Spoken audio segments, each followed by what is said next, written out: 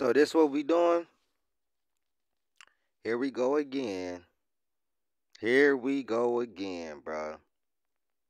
The same thing he tried to do in 2016 to get him to the Cavaliers, but KD ended up going to the Warriors and ruining his whole little goat shit. Now he trying to get KD on the Lakers or whoever trying to uh, come up with this. Kevin Durant for D'Angelo Russell, Rui Hachimura, Taurean Prince, Max Christie, and two first round picks. Like I said, if KD was to do this, he's not even in my top 25 no more, bro. KD in my top 20, but he's not in my top 15. I just don't. I can't give it to him. He's had way too much help and not been able to win like he should now. Brooklyn, I understand they was injured, all of that. But Phoenix, come on, bro. He don't win. He don't win with Phoenix. Ain't no excuse. I don't want to. Y'all signed Bradley Beal. Y'all didn't have to sign him. Y'all could have went and got some. Y'all could have went and got other pieces. But this is what we doing. Every year, y'all got to find some trade to get this man another superstar.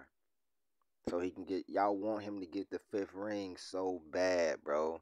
So bad that y'all came up with a dumbass tournament. Y'all came up with a tournament. Now you trying to get Kevin Durant or people pr- proposing this trade.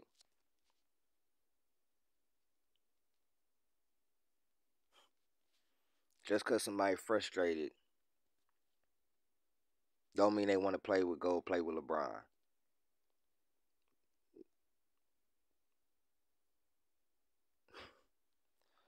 Wow.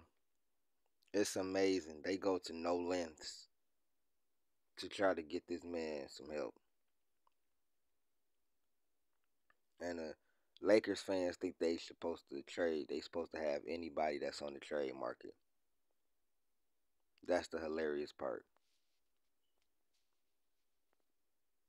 I told you. But I could once again, I could have sworn the Lakers had the best offseason though. They made the best acquisitions, everything. What happened to all that? It's the same movie, different actors. They start off slow. Then they pick it up and get on a little winning streak, which was the in-season tournament this year. And everybody get fooled.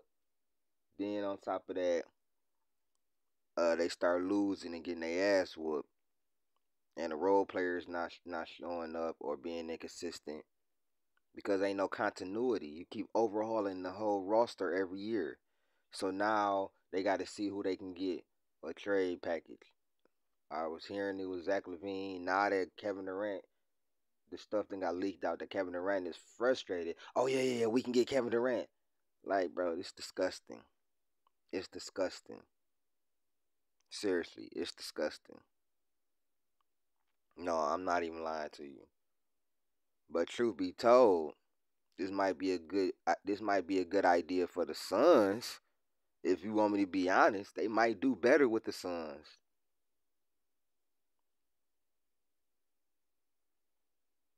These four guys, they might do better with the Suns instead of being in the in the system. But in hindsight, if I'm Phoenix, hell no, I ain't doing this. Why the hell will I trade a top 20, top 15, 20 player for four role players? And Bradley Beal still injured. And what is going to be Devin Booker? I mean, D'Lo can be a third option. Rui is nice too. I like Rui too, but I'm not doing this if I'm Phoenix. Now, like I said, if I'm the Lakers, hell yeah, I'm trying to do this. If I'm KD, I'm not stepping towards LeBron James. And KD has already said that it's toxicity around him. Y'all trying to make up these trades to help. You got help. You got two players averaging 15 points per game. AD averaging 25 and 12. Come on, man. Here we go again. He need more help, part two.